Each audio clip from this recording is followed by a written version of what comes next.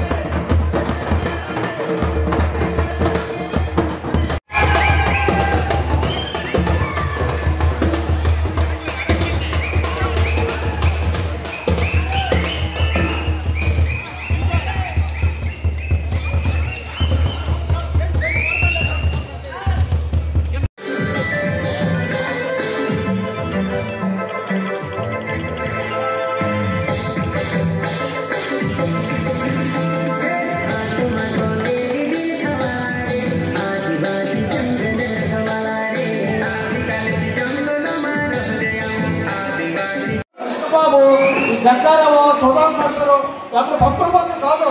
మనమందరం ఒక మాట మీద ఉండాలి. మన మందరం ఒక తాటిపై ఉండాలి. అటువంటిప్పుడు మనకి సంబంధించిన గిరిజన చట్టాలు కానీ ఆ గిరిజన జీవనం కానీ మనం సాధించుకోగలుగుతాం ముందుకెళ్ళగలుగుతాము. మనం ఈ ప్రభుత్వాలను కూడా అవసరమైతే నిలదీసి మన చట్టాన్ని సాధించుకునే పరిస్థితి ఉంది. మనకి ఏడుగురు ఎమ్మెల్యేలు ఉన్నారు. ట్రైబల్ ఎమ్మెల్యేలు. ట్రైబల్ అడ్వైజరీ కౌన్సిల్ అనే ఒకటి ఉంటుంది. అక్కడ ఏడుగురు ఎమ్మెల్యేలు కూడా ఏకదానిపై ఒక ఏకవాక్య తీర్మానం ప్రవేశపెడితే ఆటోమేటిక్గా అది అసెంబ్లీలో ప్రవేశపెట్టి చట్టంగా మారుతుంది. అటువంటి చట్టం చేయలేని ఈ దత్తమ్మ ఎమ్మెల్యేలు మనకి ఈరోజు ఉన్నారు. ఇటువంటి వాళ్ళని మనం మళ్ళీ గెలిపించాలా? మళ్ళీ అసెంబ్లీ పంపించాలా? మన హక్కుల్ని మన చట్టాలని మనకున్న రాయితీని కాపాడాలని నిశ నిరాశ నిస్పృహతో ఉన్న ఇటువంటి ఎమ్మెల్యేలు మనకు అవసరమా అవసరం లేదు గిరిజనుల కోసం పోరాటం కావాలి గిరిజనుల హక్కులు పోరాటం కావాలి. గిరిజనుల హక్కుల కోసం నిలబడే నాయకులు మనకు కావాలి. అటువంటి పరిస్థితుల్లోనే మన సమస్యలు మనం సాధించుకోగలుగుతాం. ముందు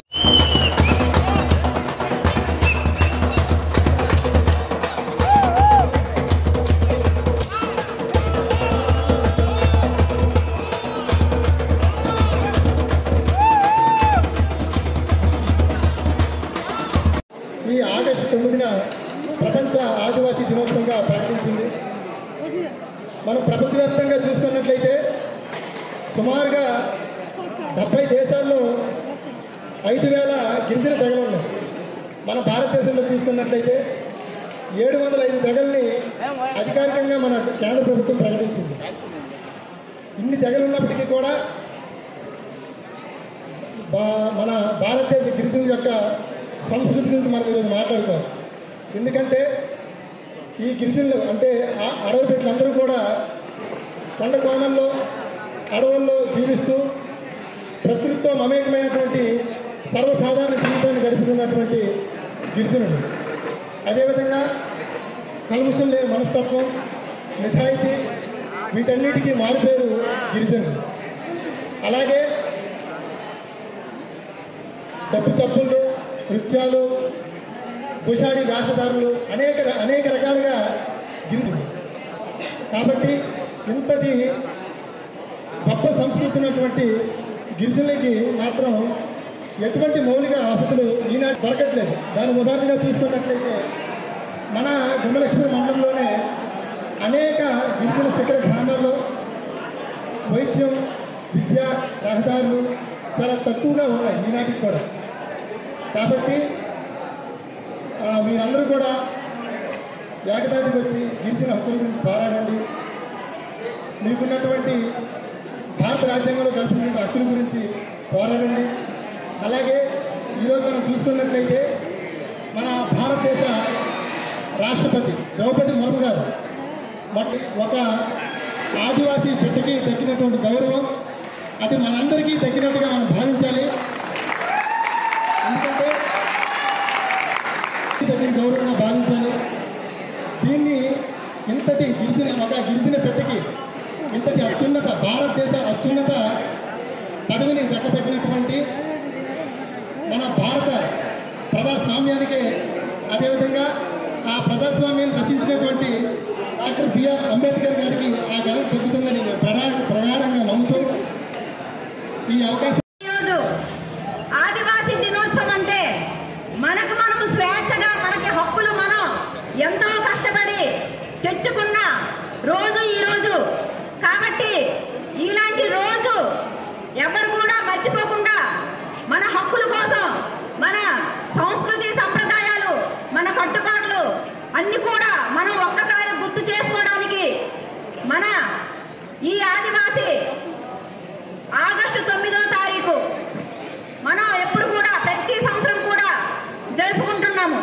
కాబట్టి రానున్న తరాలు మన పిల్లలు ఎక్కడ మర్చిపోతారని చెప్పి మనము ప్రతి ఆగస్టు తొమ్మిదో తారీఖు ఇవి గుర్తు చేయడానికి మనము ఇది ఒక పెద్ద పండగలా చేసుకుంటున్నాం కాబట్టి ఐటీడీఏలోని చేసుకుంటున్నారు.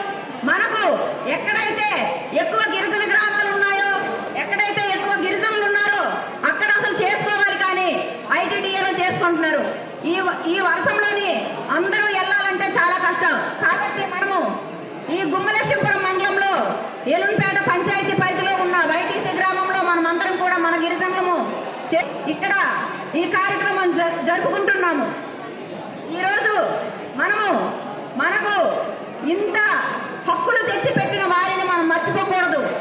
మనము దీన్ని కూడా ఎప్పుడు కూడా మన రానున్న తరాలకి అందజేయాలి ప్రతి ఒక్కరు ఇప్పుడు ఎన్నో చట్టాలు వచ్చాయి ఆ చట్టాలు పూర్తిగా అమలు చేయాలి మన గిరిజనులకు ఏ హక్కులు కల్పించినా ఆ హక్కు కాల రాస్తున్నారు ఇప్పుడు కాబట్టి ఇలాంటివి మనము ఒక గిరిజనులుగా ఆ హక్కులు మనం అప్పుడు సంపాదించుకున్న హక్కులు కూడా అవి కాల రాయకుండా మనం ఒక సమిష్టిగా ఉండాలని చెప్పి ఈ సందర్భంగా నేను తెలియజేస్తున్నాను తెలియజేసుకుంటూ ఈనాటి మన ఈ కార్యక్రమానికి ఇచ్చేసినటువంటి మన ప్రియ మిత్రులు పత్రికా విలేకరులు ఎలక్ట్రానిక్ అండ్ ప్రింట్ మీడియా మిత్రులందరికీ ఈ సందర్భంగా నమస్కారం తెలియజేసుకుంటూ మిత్రులారా చాలా సంతోషం.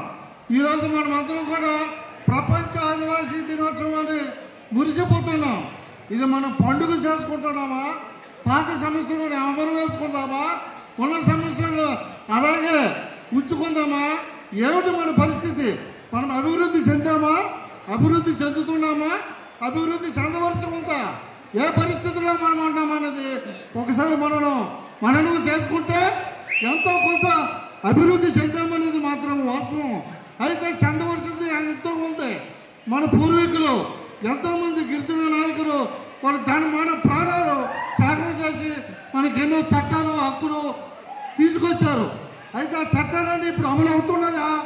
అవి కాపాడగలుగుతున్నామా మనం వాటి కోసం ఏమైనా పోరాటాలు చేస్తామంటే? ఏమీ లేని పరిస్థితి. దానికి ఉదాహరణ మీ అందరికీ తెలుసు. రీసెంట్గా జీవో నెంబరు త్రీ అనేది తీసివేశారు. సుప్రీంకోర్టులో అది కొట్టేశారు. అయితే మన ప్రస్తుతం ఉన్న ప్రభుత్వం కానీ గిరిజన సంక్షేమ శాఖ మంత్రి కానీ గిరిజనుడు కానీ దాని మీద ఏమీ స్పందించలేదు.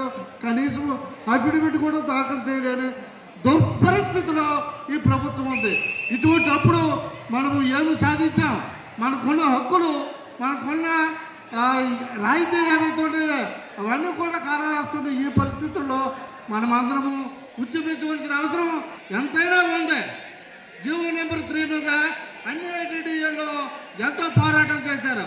కానీ మన ఐటీడీ పరిధిలో మనము మన గిరిజనము కనీసం పేపర్ ప్రాంతం కూడా ఇవ్వడానికి ఏ నాయకుడు ముందుకు రాని పరిస్థితి. మనకు మంత్రి అయితే మనకు మంత్రి ఉన్నదని చెప్పుకోవడానికే కానీ గిరిజన సమస్యలు అంటే ఆవిడకి అసహాయం గిరిజనులు అంటే ఆవిడకి చిన్న చూపు. గిరిజనులు అంటే పట్టించుకునే పరిస్థితి లేదు.